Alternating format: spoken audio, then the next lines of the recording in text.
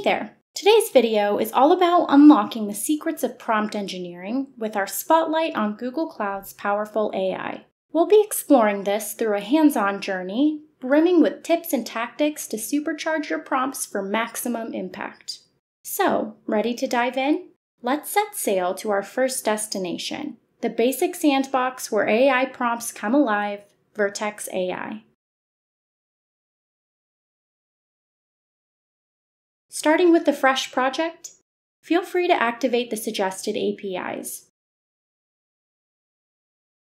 Once the APIs are enabled, our next stop is the Generative AI Studio and specifically the Language Studio. While we'll focus today on text prompts, the principles are relatively portable to other formats like chat or code generation. Prompt engineering starts here, where you'll get to experiment with prompts, configure model parameters, and catalog interesting findings, all through a friendly interface, a refreshing break from command lines or complex code.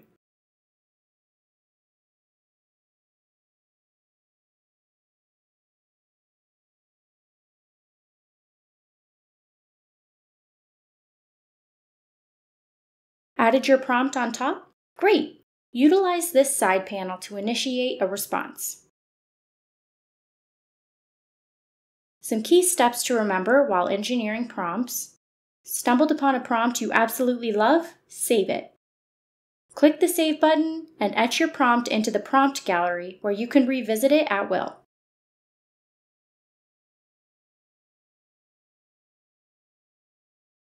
With our prompt safely tucked away, we can summon it back anytime. We'll later explore smarter ways of storing and querying these saved prompts. But first, let's explore the wonders of this right panel, including our treasure trove of models, each equipped with unique capabilities. There's PaLM text models and code models of varying sizes, signified by the animal naming. The larger the animal, the larger the model.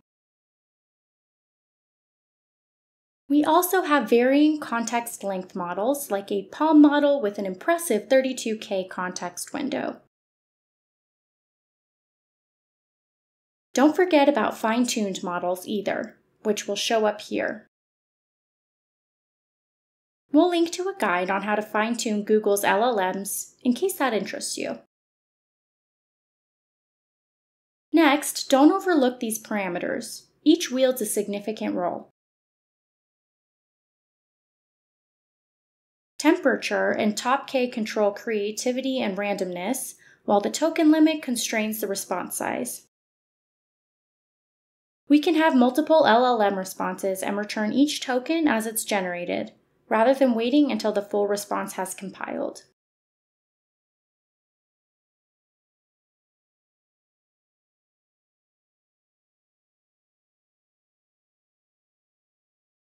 Now let's trace our steps back to the Generative AI Studio and enter My Prompts.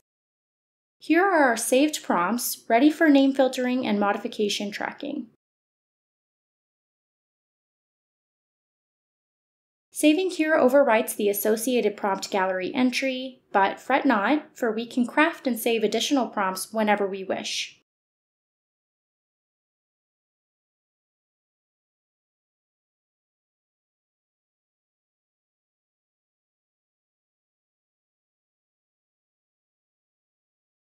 Now let's dig deeper into the art of structuring our prompts.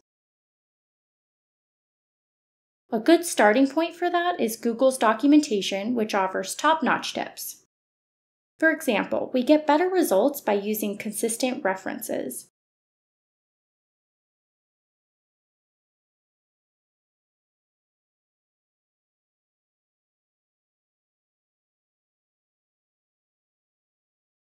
Suppose we want to classify a YouTube comment sentiment. Our structure would look something like this, culminating in a succinct positive output at the end.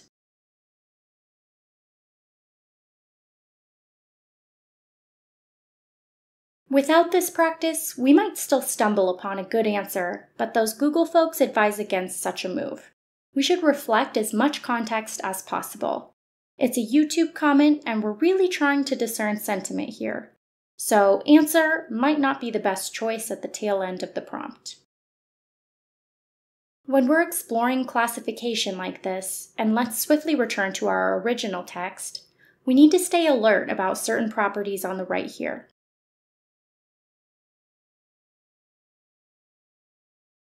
Specifically, for classification, it's generally a good habit to set the temperature to 0 and the top K to 1.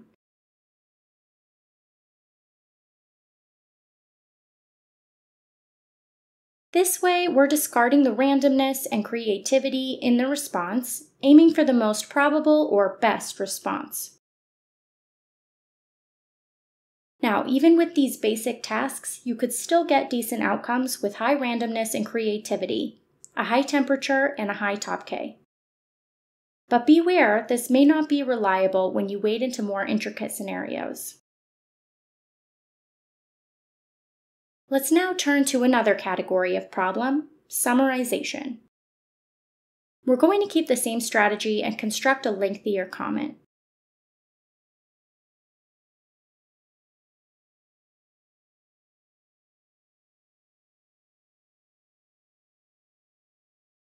For tasks like these, a dash more creativity could actually be beneficial. So we might revert the temperature and top K to their initial values, perhaps a 0.2 temperature and 40 top K. It's also crucial to consider the token limit here. Ideally, we'd want a concise summary and adjust the token limit accordingly. Alongside that, we're going to dive deeper into why we need this summarization and the characteristics we're keen on.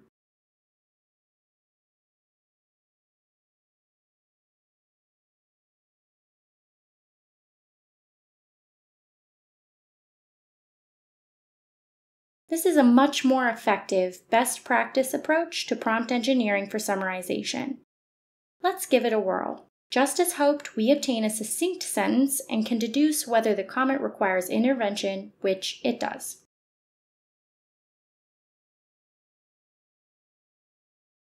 Let's discuss one last example prompt type, extraction prompts. For example, we could extract the relevant technologies from a comment.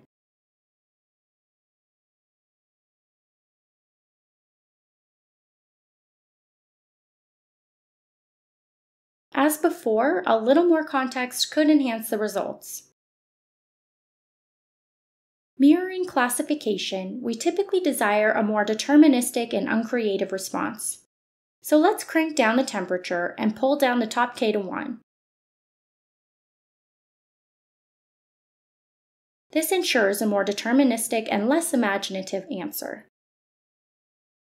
In this example, it has pinpointed LangChain and LLM technologies. Let's look at a few last tips and tricks. First, we've been harnessing the console for exploring different prompts, but you can equally use the API or SDKs. Click on View Code and it unveils functioning code that replicates what you've set up in the console. It features our original prompt in the code and offers options for Python, Python Colab, and even API calls via curl. This could come in handy when you're eager to incorporate some programmatic workflows into your prompt engineering.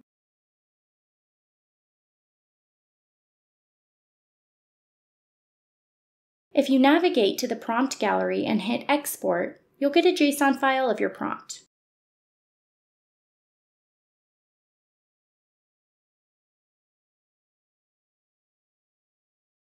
On the other side of the coin, we can of course also import these JSON files.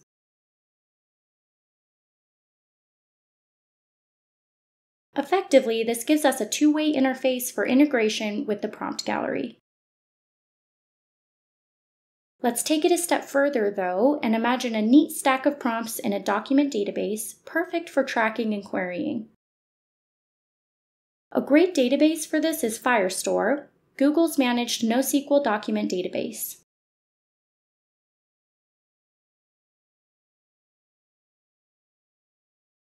We'll use native mode and select a region before creating the database.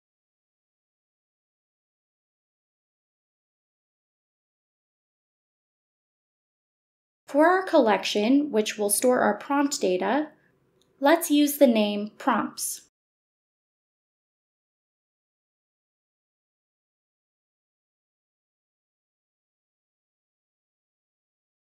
Good news! It's pretty quick and easy to import your JSON files into this collection.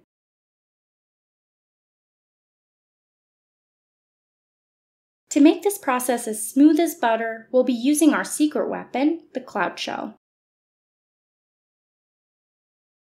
We're also going to use not just the terminal, but also the editor.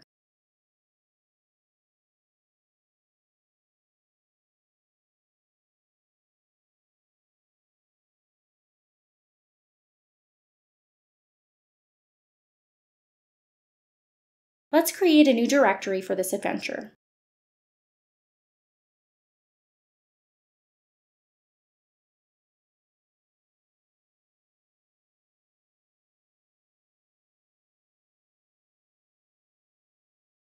From there, we'll bring in some boilerplate Python code for the JSON loading.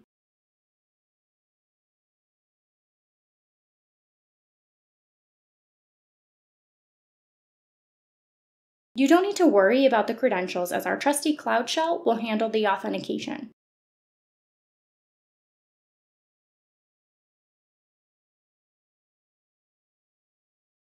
The code will traverse the current directory in search of JSON files. Then we're going to whisk them away into our collection, prompts.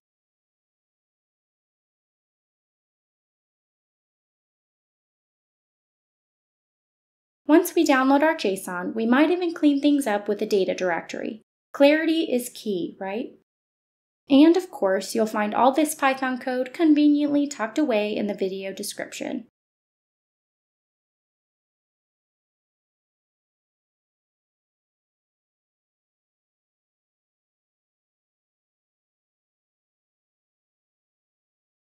Let's give the code a whirl.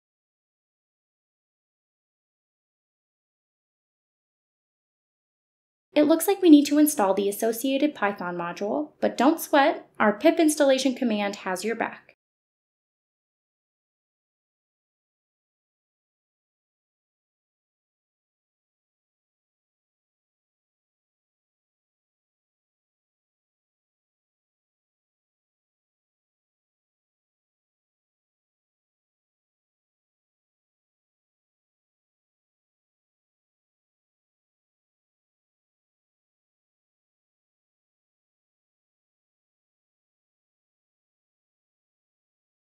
After running, if you jump back into a refreshed Firestore page, you'll be greeted by our prompt neatly loaded into the collection.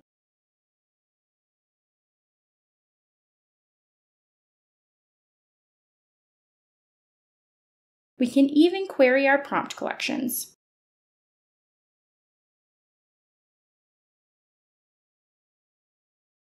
Just imagine that you wanted to find all the prompts where the temperature is set to 0.2 There we are.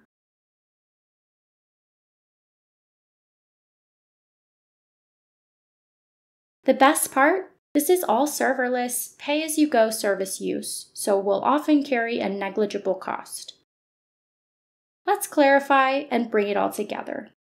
As a reminder, we've shown you the ropes of Vertex AI, Generative AI Studio, and how powerful models like PaLM contribute to the magic.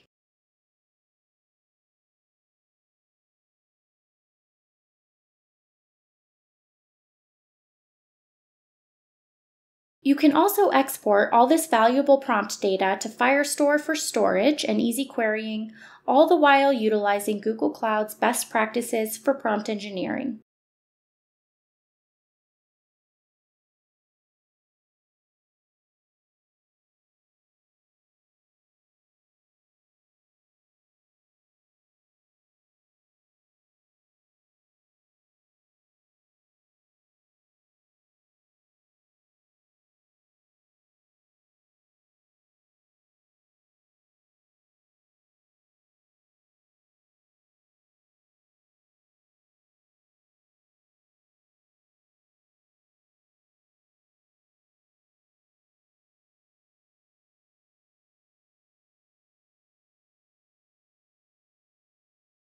We'll keep an eye on the comment section for any questions and want to thank you for watching.